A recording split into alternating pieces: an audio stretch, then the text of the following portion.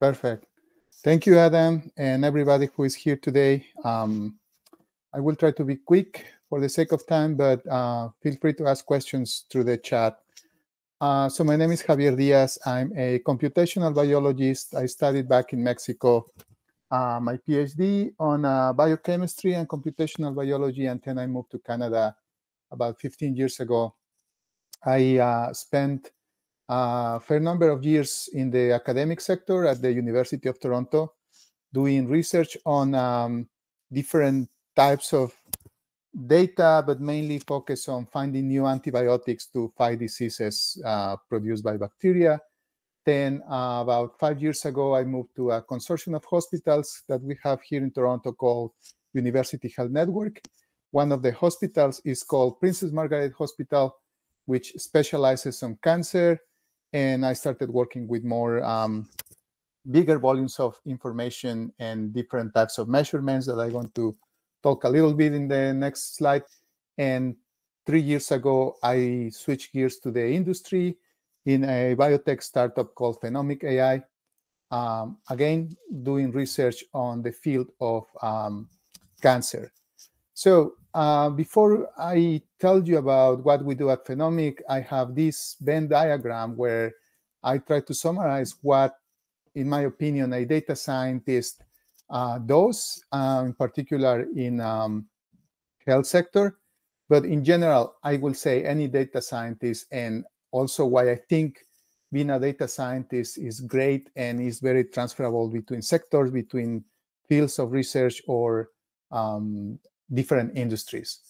So I always picture data scientists to have to be people who have uh, at least two of these three components, these two or these three circles.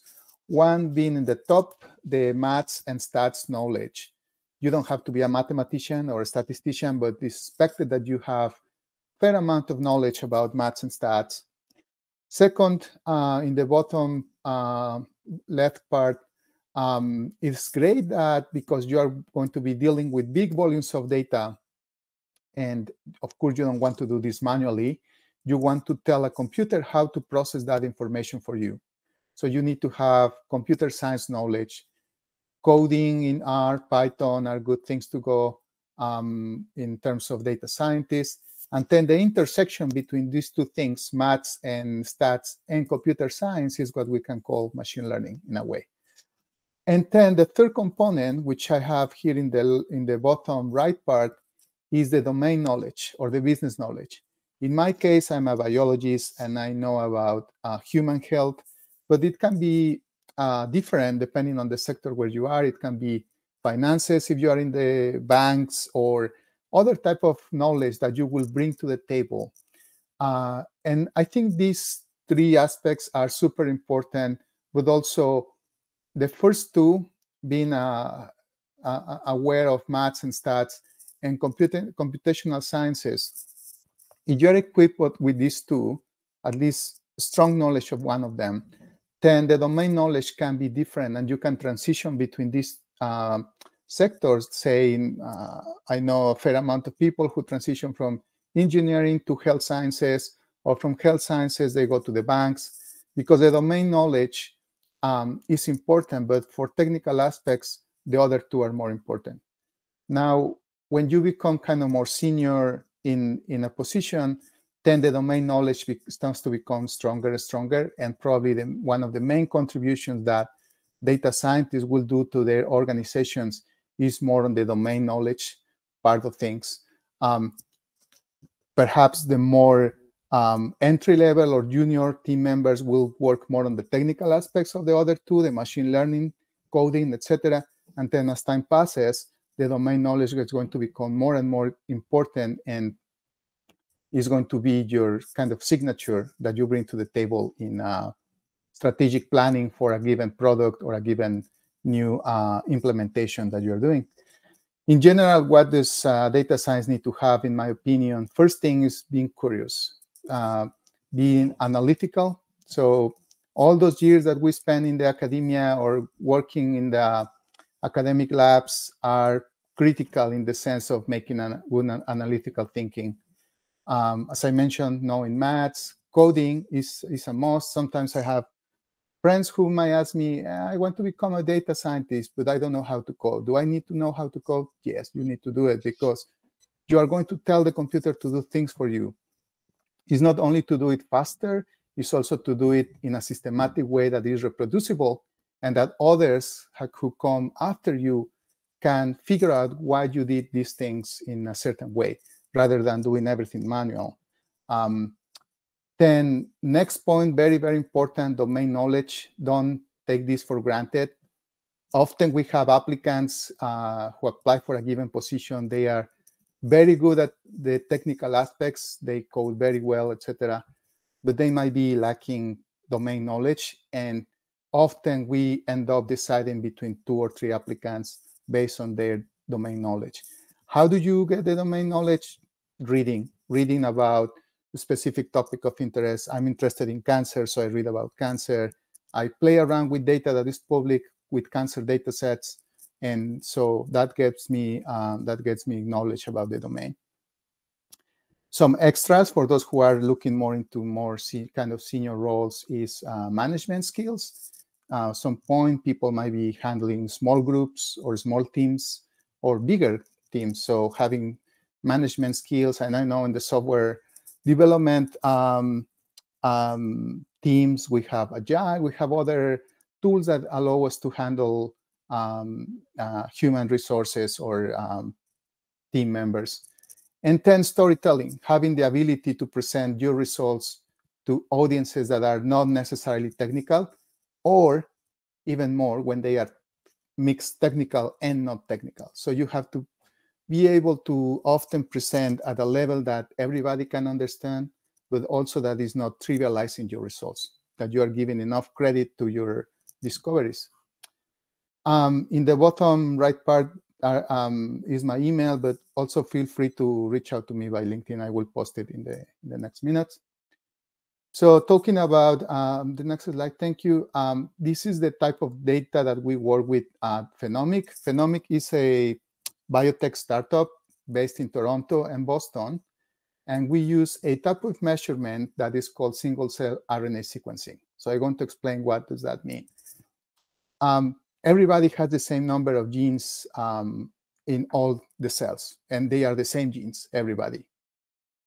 But some of those genes are turned on or off, depending, for example, the tissue type that we are that we have. If it's skin, some of those 30,000 genes are turned on and some others are turned off.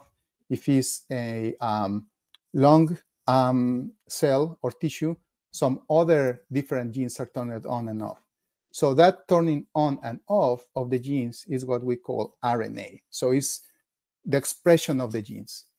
And then finally, that RNA is uh, passed to something that is called a protein, which is what actually will do the work. But that intermediate messenger between the entire list of 30,000 genes and all the possibilities that we can create in terms of proteins is what we call mRNA or RNA.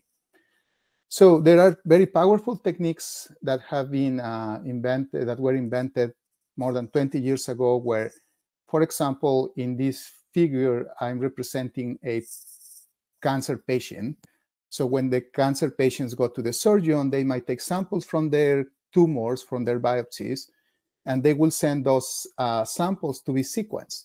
And often they will sequence not only, or they will de determine whether the, the genes turn it on and off in the tumor, but also they will sequence the tissue that is adjacent to the, to the tumor. So we can compare healthy tissue versus cancer tissue. And the way this used to be done was taking the average of all the cells in a given biopsy. That used to be the way to do things until 2015.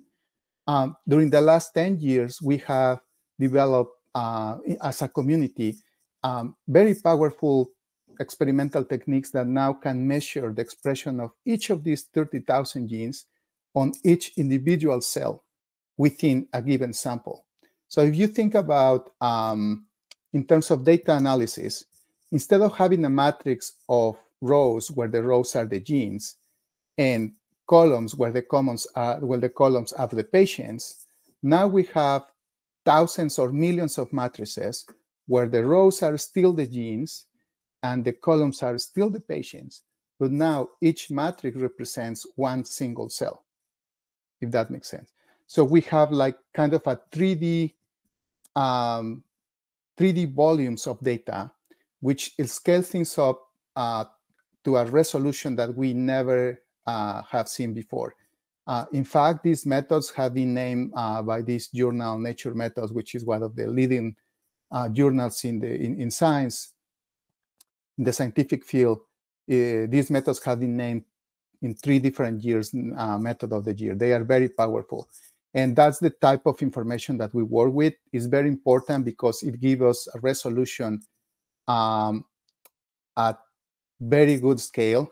It can tell us, for example, a certain patient if he's responding to a treatment or not, and not only if he's responding, but also which cells are in charge of that response. Whereas before we couldn't distinguish that between different different um, cell types.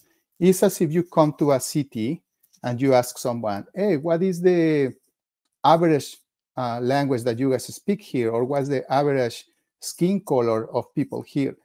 With the average, you don't really answer and you don't take into account all the diversity or the ethnicity diversity that we have in a city like Toronto, right? So rather than taking the averages, we rather measure every single cell.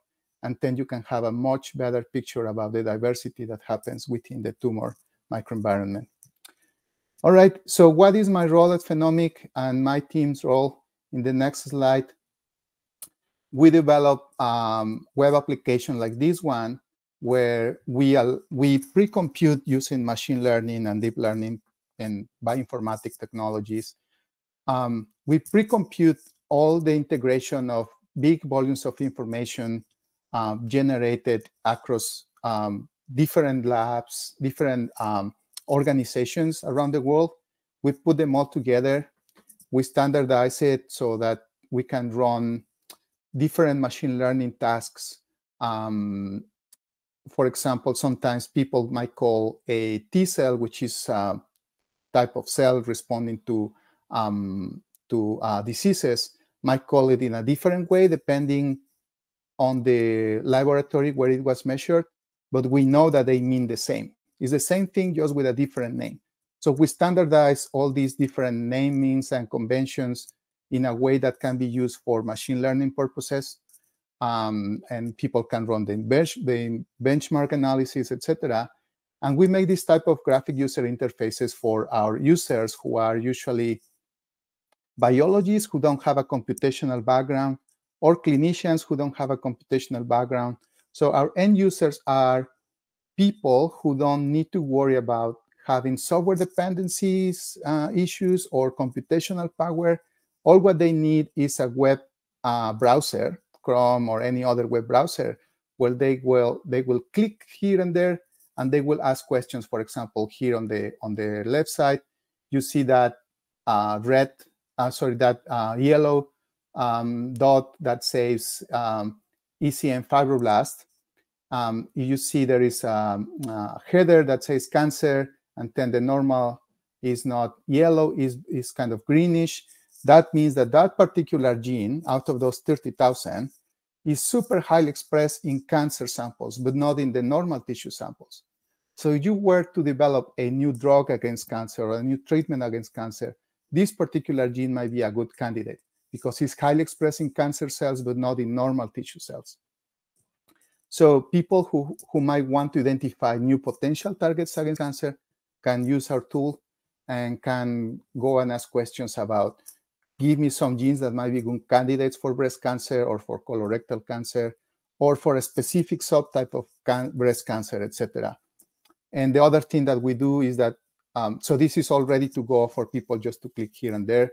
Um, and the other thing that we do is that we allow the user to use their own data. People is producing data all the time.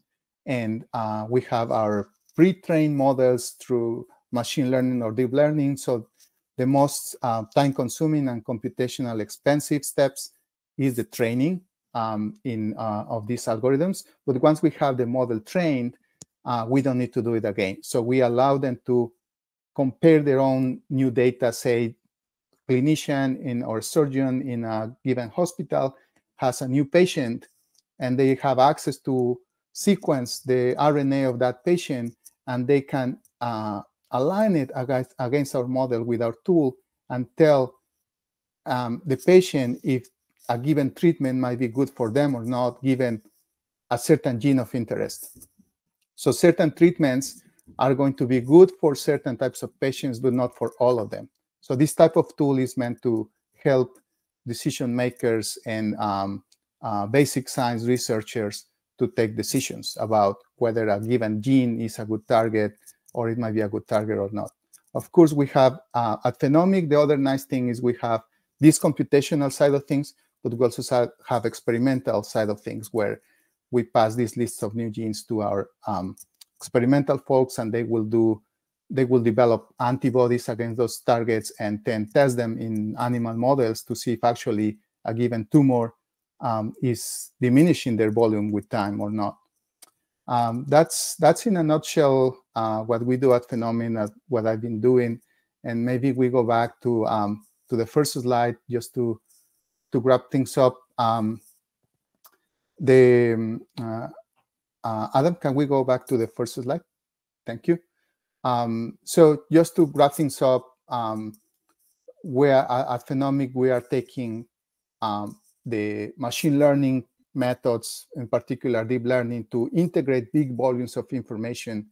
And the domain knowledge that we're adding is the knowledge of cancer biology. Um, so um, anyone who might be interested in um, more about what I've been doing and what Phenomic uh, is doing, um, um, feel free to reach out to me through LinkedIn or, or by email. And I'm happy to answer questions if we have time.